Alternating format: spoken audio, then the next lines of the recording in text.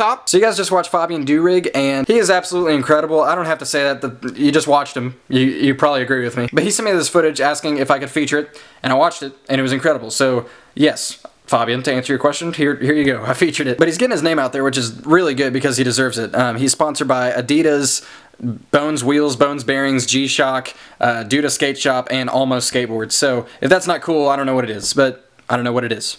What it what is. I don't know what is. But yeah, I hope you guys enjoyed this footage, and if you would like to subscribe to Fabian, click on my face. Even though my face is not Fabian's face. Click it, and you can subscribe to him. Because he has a lot more footage like this, and it's all amazing. So, click my face, subscribe to Fabian, you will not regret it. I have a key. Here's my car key.